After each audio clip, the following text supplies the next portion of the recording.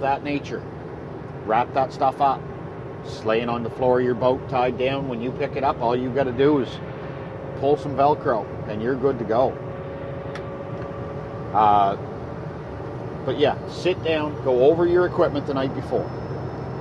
You should know your game plan. You should know your approach. What are you planning on throwing first? What baits do you think you want tied on? And if it's something like you're throwing a weightless soft plastic, okay, fine, tie your hook on. Now, in some applications, guys are going to have a pretty good idea what you're throwing just based on the style hook you have tied on. But tie your hook on. Don't put your color on. That's fine. That takes all of two seconds. But tie everything on, and that way you can check and double check your knots, check and double check your line, do all that stuff the night before. My ritual, weather permitting, is normally to grab all my gear. My half ton has a full tonneau cover on it. I grab all my gear, all my rods. They go out, they get laid across the top of my tonneau cover. My tailgate comes down. You know, my tackle boxes, the you know, I carry four to a, a tournament, plus some odds and ends in my bag. But my four Plano boxes that I'm going to use for that event, I sort through my, my Plano boxes. I figure out which ones I want based on what body of water I'm fishing. My four boxes get laid out across my tailgate. Anything that I need. I, pick out my first assortment of baits depending on how many rods I'm taking with me, normally five or six. I take out my five, you know, five or six baits, lay them out, make sure they're new baits, make sure the hooks are good, you know, make sure everything's sharp. Pick out which is going on which rod, depending on, once again, depending on application. Get everything, you know, get everything set up that way. Excuse me. It's, uh, it, it, it, it comes down to, again, ritual, routine. You know, normally I'm sitting on a stool at the tailgate of my half ton with, you know, normally a beer sitting on the tailgate beside me and one rod at a time. Check the first few feet of line, make sure everything's good. If I find bad line, cut it off. If I have to respool, that's my time to respool. Because there's no no time pressure. I'm sitting around in the evening, sitting on my, you know, sitting in my yard having a beer. It's not it, it's not a, a hectic situation. It's not a pressure-filled situation. Tie everything up. Get, you know, get get all your baits tied up. Put your your your bait gloves on, that sort of thing. If that's what you choose to use, get everything ready. If you're the back of the boat angler and you're meeting your partner in the morning, put your stuff in your car, your truck, whatever you're traveling in. You know, finish off your beer, make sure you have and go make yourself a checklist if you have to. Get a pen and a piece of paper make yourself a checklist. You know rain gear trust me and i speak from experience. Nothing is going to make a tournament more miserable than forgetting your rain gear and needing it i did it last year. I looked at the wrong weather forecast. I looked at the weather forecast for a sunday instead of a saturday. Went down to lake Pocomoonshine maine and yes, it is a huge difference when you're catching fish and going to be in the, you know, you know you've got a bag that is going to contend for the win, which luckily for me, we were doing. But at the same time, man, if we hadn't been catching fish and keeping moving, it would have been a long, cold day. So make yourself a checklist rain gear, lunch, water in particular, especially if the sun's going to be out, make sure you stay hydrated. Uh, you know, whatever you want for your tackle. Make sure you've got the right rods, all this sort of stuff. Make sure you have everything you need. Don't uh, don't leave anything to chance because if you leave stuff to chance, you will forget stuff and that can be the difference between a good day and a bad day at a tournament. So, like I said, make yourself a checklist rain gear, tackle, rods, lunch, anything else you think you're going to need. If you have your own, uh, say, your self inflating uh, PFD or something of that nature. Uh, know, get uh, get yourself ready. The less you have to think about come Saturday morning, the better it's going to be for everybody. Oh, where was I? I had to take a little pause in recording to stop and pay a toll. The joys of recording while working. Uh, but no, get everything ready, like I said, Saturday or Friday night. The more you have prepared, the less you have to think about come Saturday morning, the better off you're going to be. If it's you know if you're if it's your boat or you have access to the boat that night, put your gear in the boat. That way, it's already there. It's one less thing you have to think about.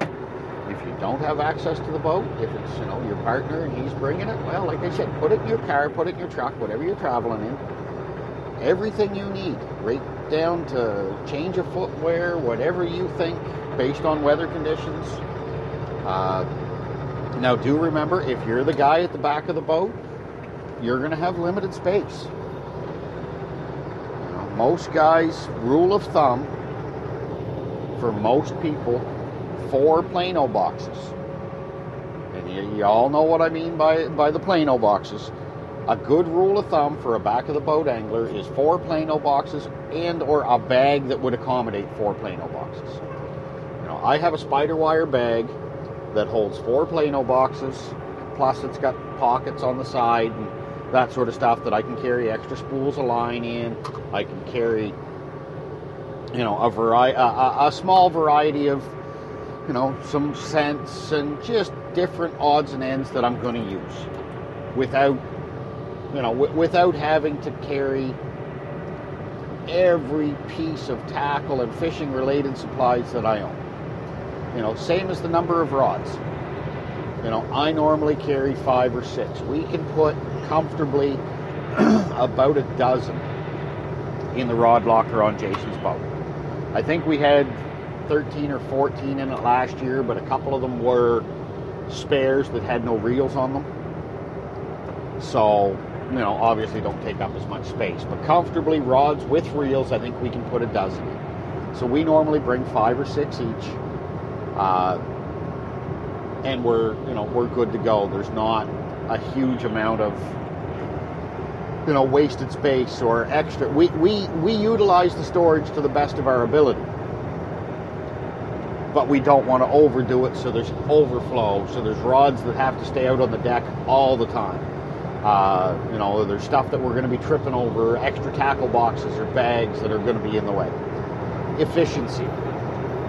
From Friday night right through Saturday, the more efficient you can make yourself, the more productive you're going to be on the water. So I know there's a lot of seasoned tournament guys out there, and a lot of this is probably fairly redundant. You know, this is all stuff that you do anyway.